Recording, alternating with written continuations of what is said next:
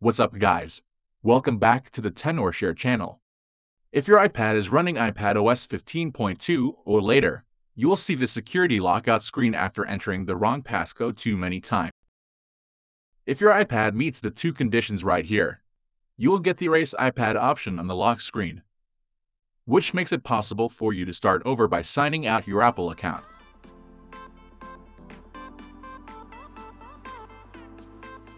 Once the erase process is done, you will see your Hello screen. Sometimes you don't see this option, or the button just won't work. In that case, you can try to unlock your iPad with 4uKey on the computer.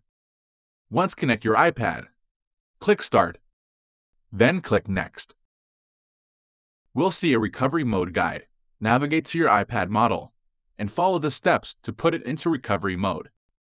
For an iPad with Face ID, press and quickly release the volume up and down button successively, then press and hold the top button until you see the recovery mode screen. Download the firmware to anywhere on your computer. And then, let's start unlocking.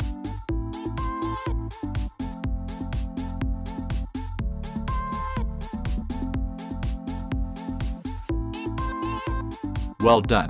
Now we can go on to set it up.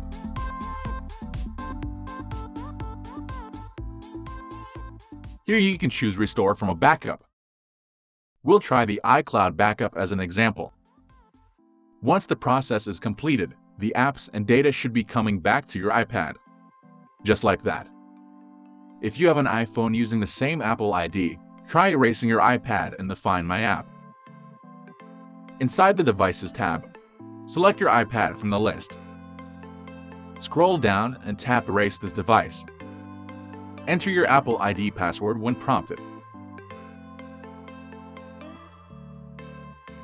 And here we go.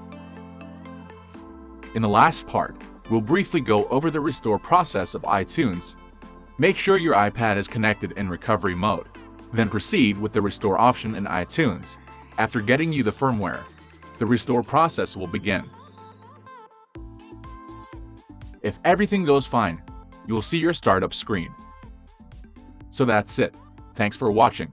For more tips like this, subscribe to the TenorShare channel or click another video to keep watching now. See you in the next video.